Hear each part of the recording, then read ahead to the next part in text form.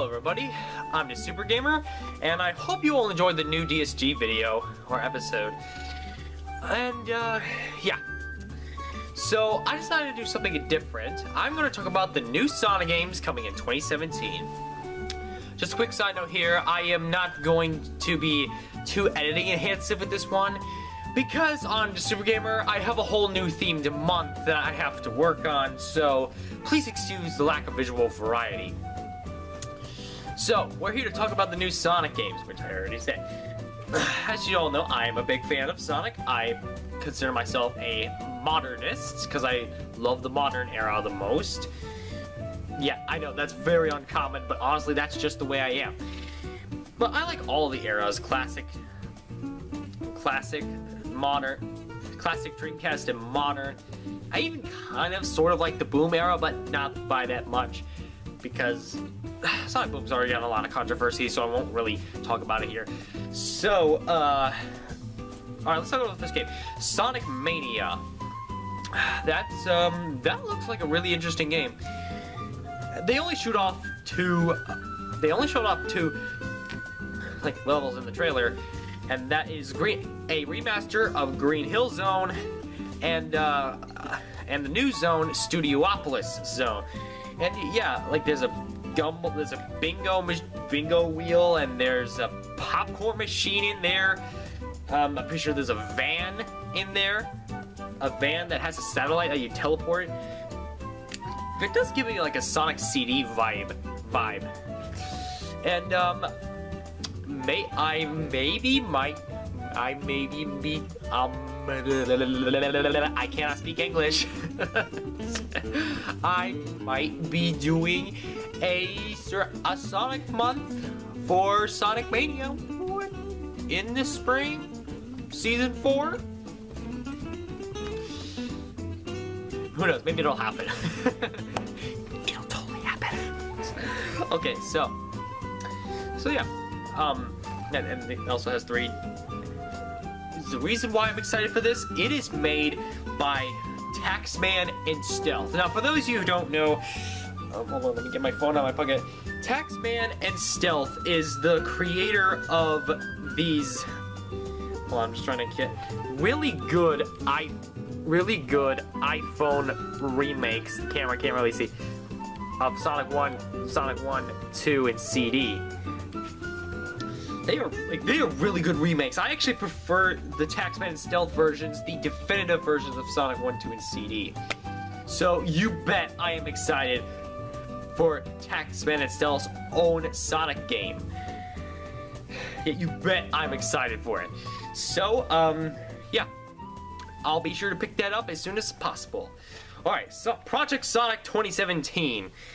Um, they say this is the real 25th anniversary game. I mean, I originally thought that Sonic Mania was because they saw that trailer first, but until this trailer, it's like, oh, okay, this is the this is the main game that they're gonna announce. It, it, it shows like an apocalyptic future with Death Egg, Death Egg, look, Death Egg like with the Death Egg robot, three of them, like destroying the city.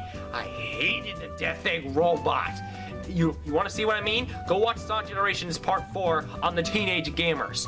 Like, I'll express how much I hate the Death Egg robot right there in that video. So, uh, yeah. And yeah, classic Sonic in this game for some reason. Classic Sonic's in the game, the 25th anniversary game, the other one. Yeah, everyone's just assuming that it's gonna be Generations 2, but it's pretty much been confirmed that it, it's not going to be a Generations 2. It's going to be an original game that just so happens to have classic Sonic in it. So, and, and that last line at the end of the trailer, join the resistance. What does that mean? Honestly, it's very, very, very unlikely, but I think personally that it means the Freedom Fighters are gonna be in the game incredibly unlikely, I know, since like Ken Ken Penders is just a huge pain in the butt, or he's pretty much a butt since he copyrighted all his characters. Like now everyone hates him now. But wouldn't that be awesome if the Freedom Fighters were in the 25th anniversary game? I mean, hey, I mean, it's just, hey, like Mr. Potato Head says, a man can dream, a guy can dream, whatever. All right. And honestly, and in Sonic Mania, which I forgot to mention, uh, Sonic Tails and Knuckles are all going to be playable in it. Yeah, I've always said to myself, like, Sega, if you ever have another Sonic game where you have multiple characters playable, do it like you did in Sonic 3 Knuckles. Do not do what you did in Sonic Adventure. Do what you did in 3 Knuckles. That is a fantastic game. Gets my vote for the best Sega Genesis game of all time. And uh, yeah, yeah, so many good things. This game is just made by so many good things. I'm just, I'm excited as heck for it. So yeah, and the last game I want to talk about is Sonic. Is Sonic? Uh, I still cannot speak.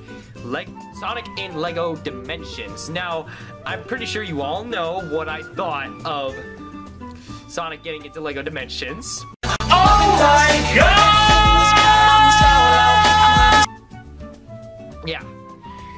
So, uh, yes, this is all unscripted, by the way, and I really am excited for it because, because when I saw like the gameplay trailer, yeah, it does look like I, I probably will only get the Sonic pack, not the actual game itself, but honestly, but but maybe if I do get the pack, who cares? It has Sonic in it, so therefore it's automatically good.